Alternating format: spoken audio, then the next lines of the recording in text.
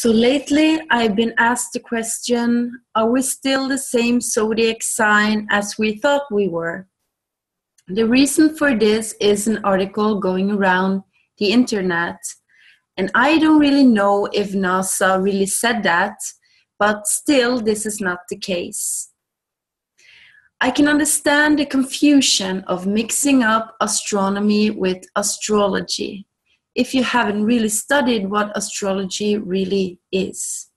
And astrology is not something that is purely physical.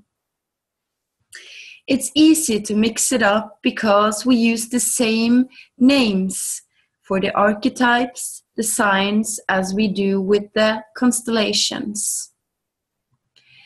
If you were to stand on the sun, you would see that the sun would never be in any signs at all this is just an optic illusion from Earth.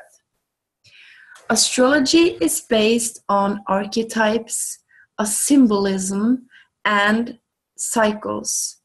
It's about how the Earth travels around the Sun.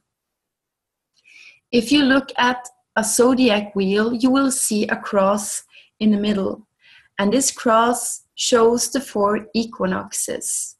And in between each square, you have three signs. And this three signs is three archetypes, three different energies that comes in with three different full moons.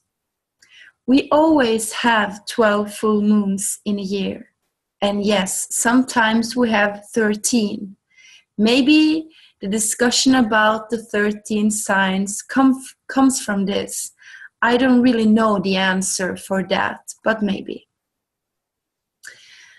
But back to the point, you are still the same sign as you always thought you were, and don't worry,